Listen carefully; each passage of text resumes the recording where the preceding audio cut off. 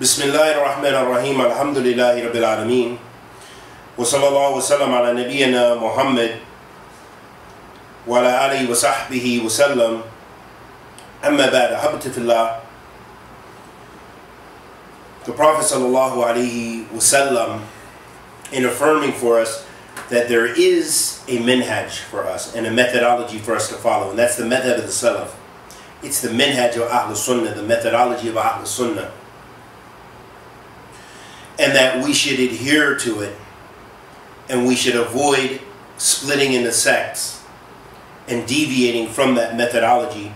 One of the ahadith the Prophet ﷺ said, and this is also a wad, it gives a, a wad, a promise of victory, a promise of success if we adhere to the Quran and Sunnah and the madhab of the Salaf of this Ummah. The Prophet said, La min ummati ظاهرين على الحق لا يضرهم من خذلهم حتى يأتي أمر الله وهم كذلك. The Prophet ﷺ said, there won't cease to be a group from amongst my nation that are on the truth.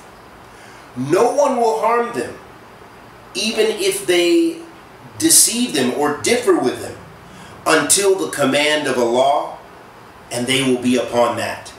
Meaning until, up until Allah gets rid of all the people of good to the end of time, when there will be no more good left in the earth, and there will be ignorance and shayateen present. So up until that time, Ahl Sunnah will be there.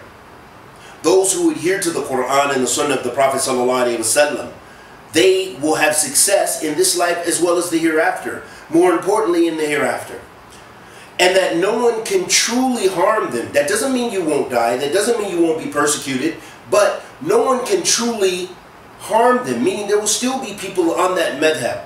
لا تزال طائفة من أمتي ظاهرين على الحق that there won't cease to be a group from my nation who is on the truth.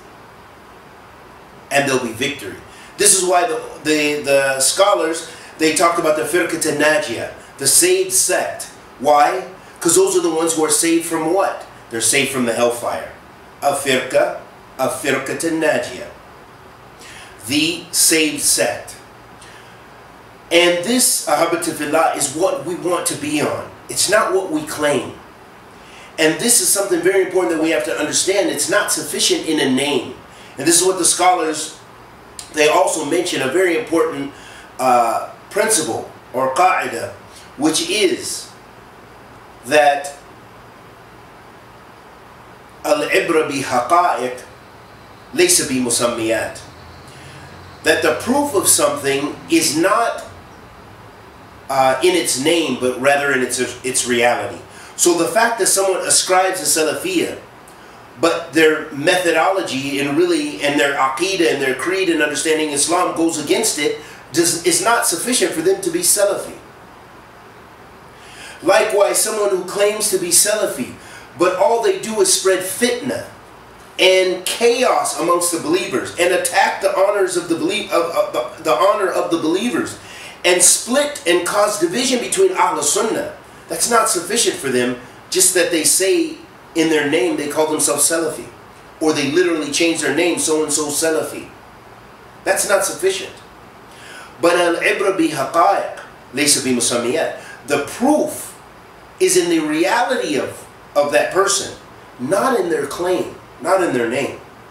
This is why we want to adhere to the Quran and the Sunnah of the Prophet wasallam and we hope that we're on that minhaj. And we hope that any of our mistakes on that methodology, that Allah will forgive us. And anything that we do wrong is not representative of that madhab and that minhaj.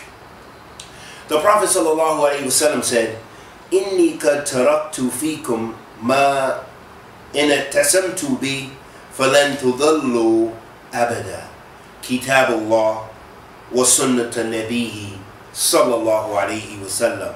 The Prophet sallallahu alayhi wasallam said, Verily I have left you with two things, that if you adhere to it, you will never be misguided. It's the speech of Allah, the book of Allah, and the sunnah of his Prophet sallallahu alaihi wasallam.